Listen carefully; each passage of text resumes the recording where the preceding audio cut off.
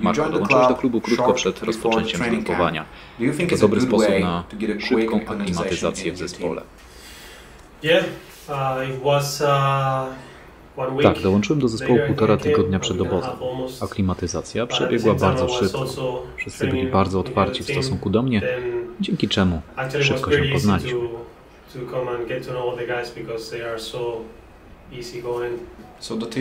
Czyli można powiedzieć, że drużyna ciepło Cię przyjęła. Tak, spotkałem się z bardzo dobrym przyjęciem, ale nie traktowali mnie jakoś wyjątkowo. Tutaj po prostu jest dobra atmosfera i wszyscy są dla siebie mili. Z kim dzielisz pokój na obozie? Janek Chlawica. Z Jankiem. Z Jankiem Chlawicą, tak. To świetny gość. Odkąd tylko przyszedłem, złapaliśmy dobry kontakt i sporo rozmawialiśmy. Troszkę więcej niż z resztą zawodników. Teraz już dobrze się znamy. Jest bardzo ciekawym człowiekiem i na wiele spraw mamy podobny punkt widzenia. Pytanie, czy miałeś kiedyś okazję grać na innych pozycjach? Kiedyś grałem jako dziesiątka, sporadycznie jako lewy skrzydłowy, ale głównie zawsze byłem napastnikiem. Kto jest twoim piłkarskim autorytetem? Kimś, kogo podziwiasz? Kiedy byłem dzieckiem, zawsze patrzyłem na Raula. To napastnik, na którym się wzorowałem. Oprócz tego grał w Realu, któremu kibicowałem.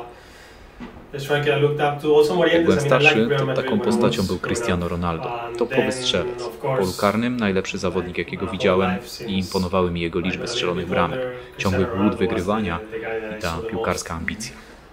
Top scorer, I think in the box, best player I've ever seen, so. A jak spędzasz wolny czas? Jakieś hobby? Well, now I got a kid. O, no teraz, teraz mam siedmiomiesięczne dziecko. No free time. Ciężko mówić o wolnym czasie, ale wcześniej lubiłem też wycieczki. Nie jestem wielkim czytelnikiem, ale dobrą książką też nie pogardzę. Jestem typem domownika i w momencie, gdy mam wolny czas, lubię go spędzać we własnych czterech ścianach. Outside. Yeah, from time to time, I'm not that much of a reader, but I was trying to uh, get this this hobby of reading, and Yeah, go for coffees. Alright. Alright. Mam nadzieję, że w komentarzach nasi widzowie podpowiedzą kilka miejsc w Bielsku Białej, które warto Visit, there are some nice mountains, some, so, so tak, maybe they will give you some tips. A jakie są największe różnice między piłką nożną w USA a piłką nożną w Europie?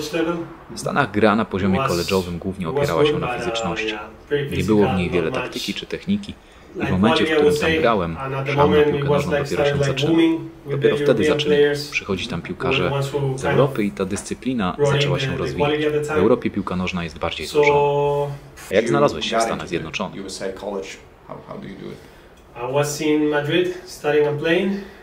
Byłem na uczelni w Madrycie i tam miałem kolegę, z którym grałem w młodzieżowych zespołach i to on mi powiedział o takiej możliwości wyjazdu, uczenia się w USA i jednocześnie grania na dobrym poziomie.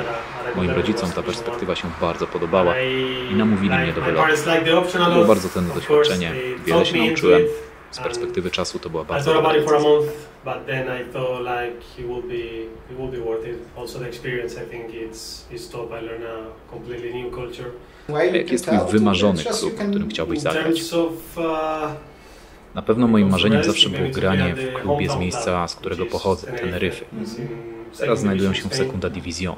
Gdy jako dziecko widzisz taki stadion, chodzisz na mecze i oglądasz zawodników, którzy grają w twoim rodzinnym mieście, to zaczynasz marzyć, żeby kiedyś też stać się częścią tej drużyny.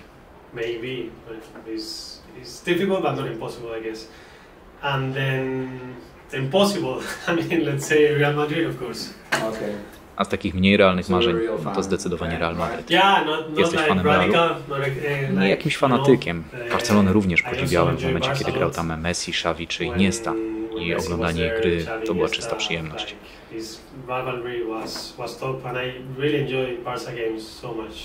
Dziękuję Ci bardzo, Marko. Wiemy już teraz o naszym nowym napastniku znacznie więcej. Uh, thanks for the interview. No, and thank you very much.